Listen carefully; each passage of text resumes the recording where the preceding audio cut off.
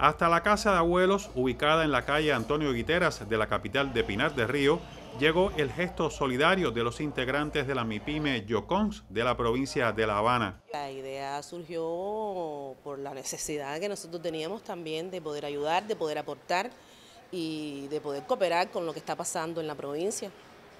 Y entonces, bueno, eh, hablamos con el resto de los trabajadores de la MIPYME, todos trajeron una valija, algo que se pudiera aportar y con los ingresos de la MIPYME, pues entonces decidimos comprar eh, eh, sábanas, edredones, cosas que se pudieran hacer falta y que pudieran ayudar.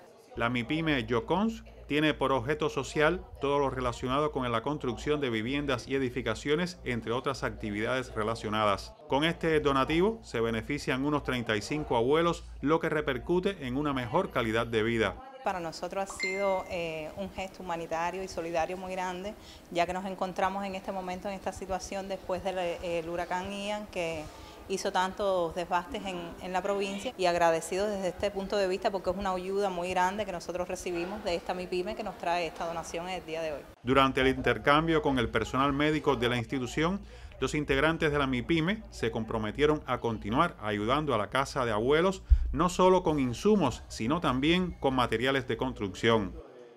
Desde Pinar de Río, Alain Alonso Graverán, Sistema Informativo de la Televisión Cubana.